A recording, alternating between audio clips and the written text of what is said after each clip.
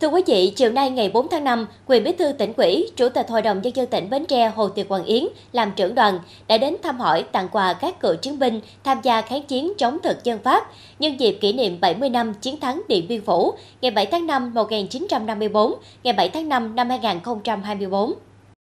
Quyền bí thư tỉnh ủy Bến Tre, Chủ tịch Hội đồng Nhân dân tỉnh và đoàn công tác đã đến thăm tặng quà đồng chí Lê Văn Phòng, Ba Thanh, anh hùng lực lượng vũ trang nhân dân, nguyên tỉnh đội phó tỉnh đội Bến Tre ở xã Sơn Đông, thành phố Bến Tre. Đồng chí Trần Diệu Quốc, nguyên tỉnh ủy viên, nguyên bí thư huyện ủy Châu Thành, nguyên tỉnh đội phó tỉnh đội Bến Tre ở xã Hữu Định, huyện Châu Thành. Đồng chí Lê Quang Văn, Bảy Giang, anh hùng lực lượng vũ trang nhân dân, nguyên tỉnh đội phó tỉnh đội Bến Tre ở xã Hữu Định, huyện Châu Thành.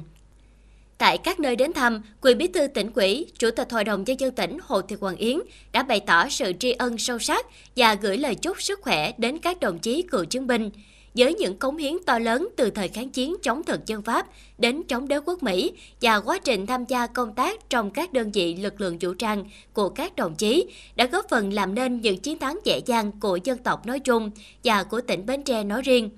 Qua đó, quyền bí thư tỉnh ủy, Chủ tịch Hội đồng Nhân dân tỉnh mong muốn các cựu chiến binh luôn giữ vững và phát huy phẩm chất bộ đội cụ hồ và truyền thống cách mạng, tiếp tục dõi theo, đóng góp kinh nghiệm quý báu và là những tấm gương sáng để giáo dục thế hệ cán bộ, chiến sĩ lực lượng vũ trang tỉnh nhà hoàn thành xuất sắc nhiệm vụ được giao.